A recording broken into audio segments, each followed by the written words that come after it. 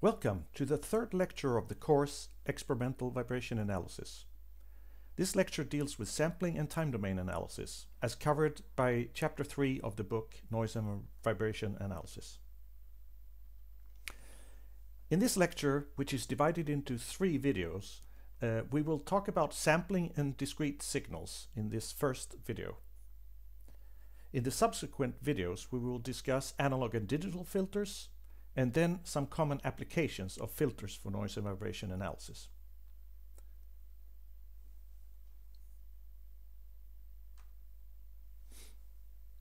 It is common today to record time signals.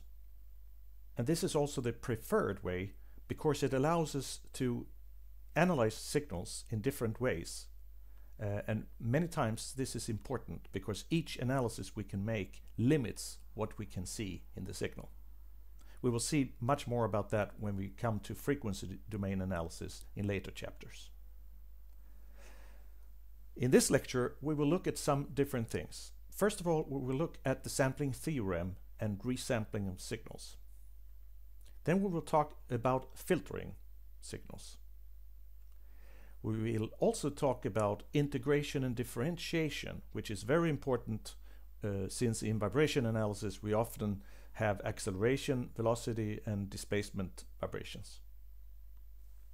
And then finally, in the time domain, you can also uh, assess the quality of your measurement uh, signals.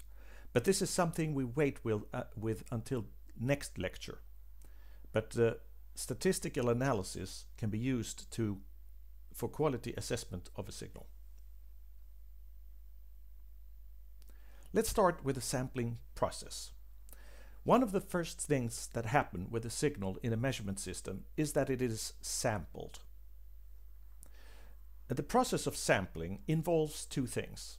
First, the signal is discretized in time. This means that after sampling, we only know the value of the signal at certain instances in time, the sampling times. The second thing is that the signal is discretized in amplitude, as in all measurements. But this fact we will wait with until we talk about measurement systems in chapter 11. For now, we assume that we can measure the signal values at the sampling instances, instances without any error.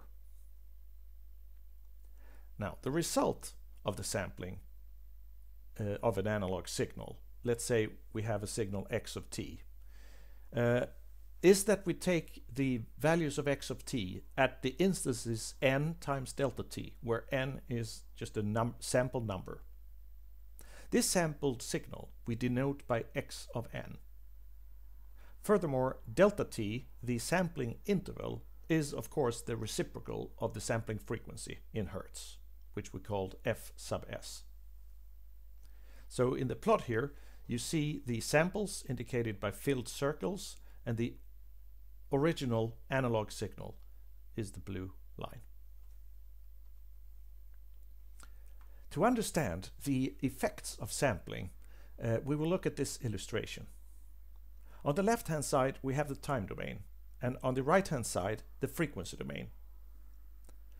The sampling process we can describe as the analog signal x of t on the left hand side being multiplied by a pulse train with pulses of height 1 and distance of delta 2 t, producing the sample signal.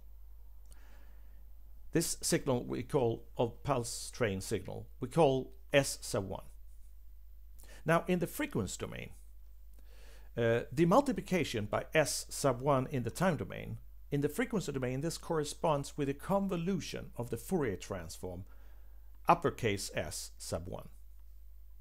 Since the Fourier transform of S sub 1, as indicated here, is a also a series of pulses, but with the distance f sub s between them. This convolution leads to the fact that the spectrum of the sample signal is repeated at every multiple of the sampling frequency.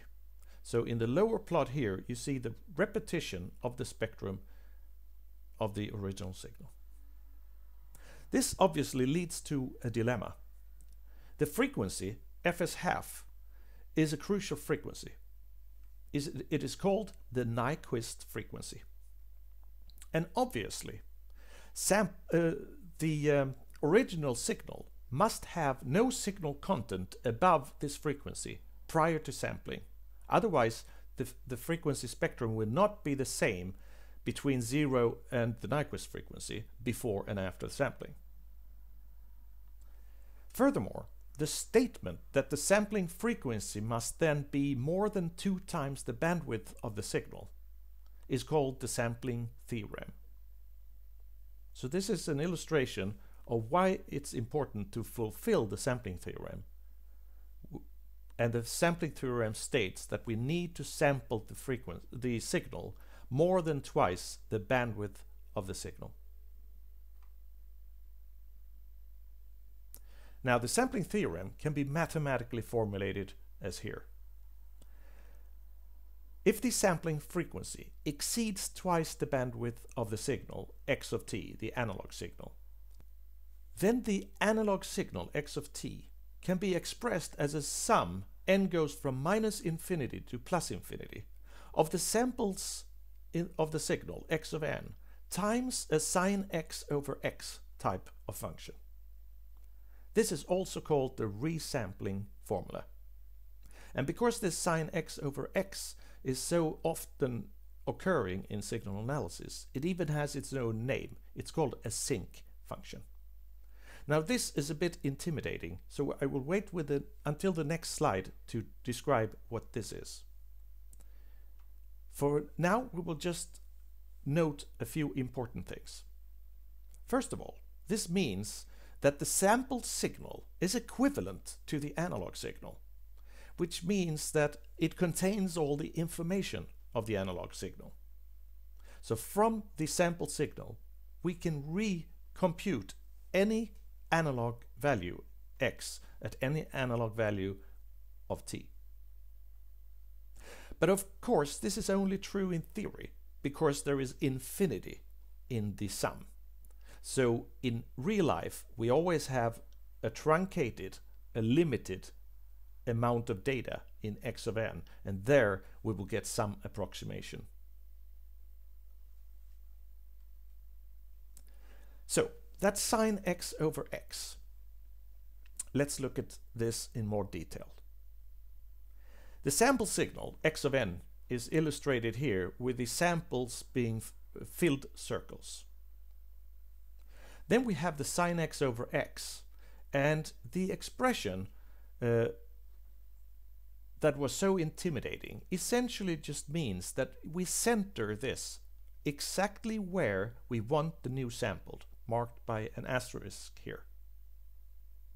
Then the sine over x is evaluated at the same instances as where we have the samples. So the instance is marked by tri filled triangles here. And finally, each pair of values of x of n and the sine x over x function are multiplied together, and these products are then summed together. And this sum equals the value of the, of the analog signal at the time t. So this formula from the previous slide isn't really that intimidating after all, is it?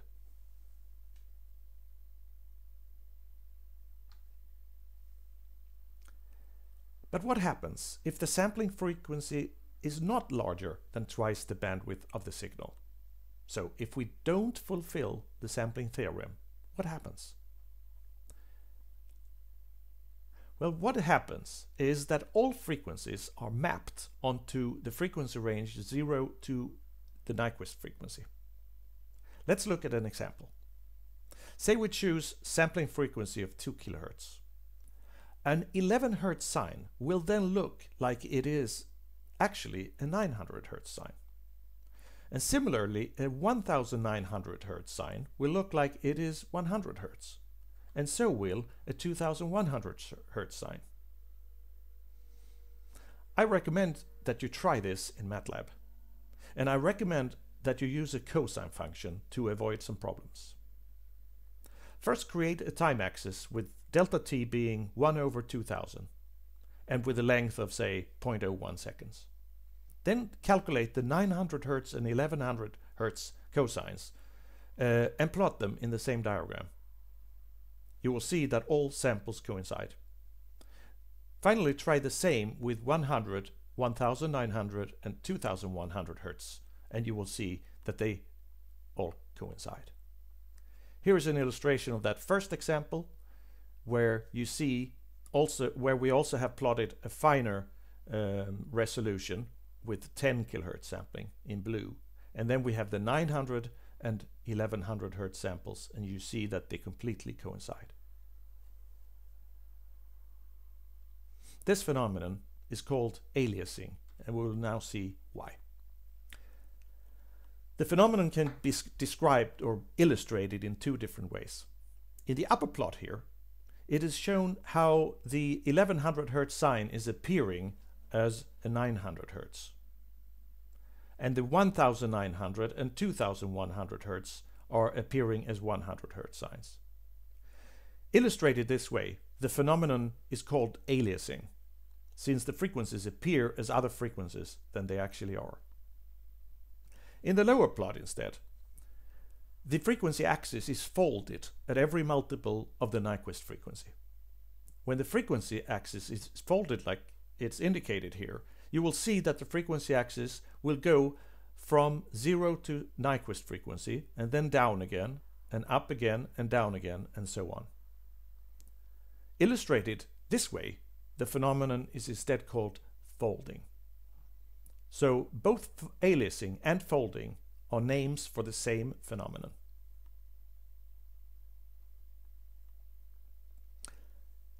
The aliasing phenomenon has some important consequences. First, every measurement system, for noise and vibration analysis at least, must contain an analog anti-aliasing filter prior to the A to D converter, the analog to digital converter. Secondly, we define the oversampling ratio of a sampled signal as the ratio of the sampling frequency and the bandwidth of the analog anti-aliasing filter. So the oversampling ratio is the sampling frequency divided by the bandwidth of the filter. The oversampling ratio is often equal to 2.56. This used to be a standard in measurement systems for noise and vibration analysis. Today, however, you can find some systems using a lower oversampling factor, but the factor 2.56 is still very common. Finally, in this video, we will talk briefly about resampling. The formula for the sampling theorem, or interpolation, that we described earlier can be used to resample a measured signal. That is, to recalculate the analog signal corresponding to a higher or lower sampling frequency than was originally used. This can be easily implemented in MATLAB by using the resample command with the syntax of resample xpq, where x is the data vector with the data in a column, uh, and p and q are integer numbers and the signal x is resampled to a new sampling frequency equal to p over q times the old one. Naturally, if the new sampling frequency is lower than the original, the signal needs to be low pass filtered before the resampling. This is automatically taken care of by the resample command. You should now proceed to the second video for lecture 3 video 3b.